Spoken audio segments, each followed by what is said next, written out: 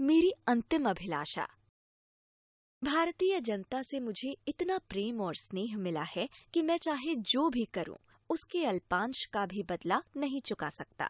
और सच तो यह है कि प्रेम जैसी अमूल्य चीज़ का बदला चुकाया भी नहीं जा सकता। लोगों ने बहुतों को सराहा है और अनेकों के प्रति श्रद्धा व्यक्त की है। परंतु भारतीय जनता के सभी वर्गों के लोगों से मुझे इतना अधिक प्यार मिला है कि मैं उससे अभिभूत हूँ। मैं केवल यह कर सकता हूँ कि जितने दिन मैं और जीवित रहूँ, अपने देशवासियों के प्यार के योग्य बना रहूँ, अपने अनगिनत साथियों और सहकर्मियों के अनुग्रह का मैं और भी अधिक ऋणी हूँ। हम लोगों ने बड़े बड़े कामों को हाथ में लिया और कंधे से कंधा मिलाकर उन्हें पूरा करते रहे तथा उन सफलताओं और विपत्तियों में साझीदार भी रहे। जो इस प्रकार के कामों के साथ अनिवार्य रूप से लगी रहती है। मेरी इच्छा है कि मरने के बाद मेरा दाह संस्कार किया जाए। यदि मैं विदेश में मरूं तो दाह कर्म वहीं कर दिया जाए और मेरा भस्म प्रयाग भेज दिया जाए। उसकी एक मुट्ठी गंगा में प्रवाहित कर दी जाए। भस्म के अधिकांश भाग का क्या किया जाए, यह मैं आगे बताता हूँ। भस्म का कुछ भी भाग न तो बचाया जाए, न सुरक्षित रखा जाए। प्रयाग की गंगा में भस्म का कुछ भाग विसर्जित करने की मेरी इच्छा का मेरी दृष्टि में कोई धार्मिक महत्व नहीं है। बचपन से ही इलाहाबाद की गंगा और यमुना नदियों से मेरा ममत्व रहा है और ज्यो ज्यो मैं बड़ा होता गया हूँ, यह ममत्व बढ़ता ही गया है। मैंने विभिन्न ऋतुओं में गंगा की विविध भाव भंगिमाओं को निहारा है। उस इतिहास तथा उन पौराणिक गाथाओं, परंपराओं, गीतों और लोक कथाओं की याद मुझे प्रायः हो आई है, जो अनादिकाल से उससे संबद्ध है और उसकी जलधारा का अंग बन गई है। गंगा तो विशेषकर भारत की नदी है। लोगों की उस पार अपार श्रद्धा है।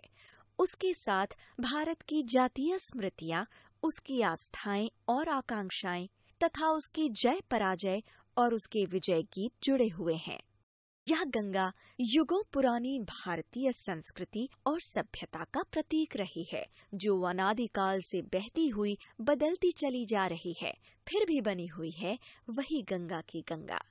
वह मुझे हिमालय की उन तुषार मंडित चोटियों और गहरी उपत्यकाओं की याद दिला रही है, जो मुझे सदा प्रिय रही है। वह मुझे नीचे के उर्वर और विस्तृत मैदानों की भी याद दिलाती रही है, जहाँ मेरा जीवन ढला है और जो मेरे जीवन के कार्य क्षेत्र रहे हैं। प्रभात की किरणों में मुस्कुराती और नाचती हुई, साय की घिरती आती परछाइयों के साथ श्यामल, उदास और रहस्यमय बनी हुई शीत ऋतु में संकरी, मंद एवं ललित धारा वाली वर्षा ऋतु में समुद्र का सा विस्तार तथा कुछ कुछ उसी किसी विनाशशीलता की शक्ति लिए भीषण गर्जना करती हुई गंगा मेरे लिए भारत के उस अतीत और स्मृति के समान रही है, जो वर्तमान तक चला आया है और भविष्य के महासागर की ओर बढ़ता जा रहा है।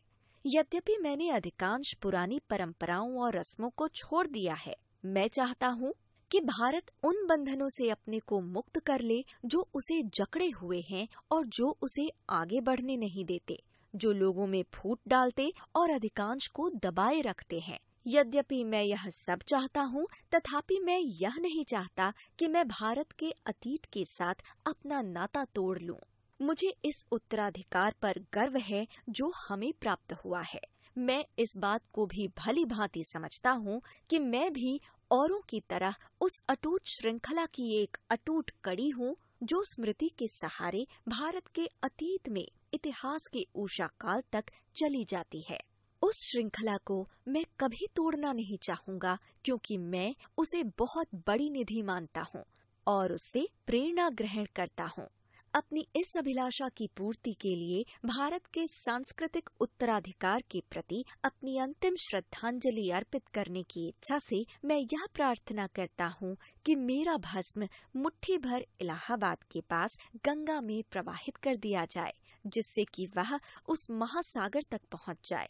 मैं चाहता हूँ कि मेरे भस्म का शेष भाग विमान द्वारा ऊपर से उन खेतों में बिखेर दिया जाए, जहाँ भारत के किसान कड़ी मेहनत करते हैं, ताकि वह भस्म भारत की धूल और मिट्टी में मिलकर भारत का ही अभिन्न अंग बने।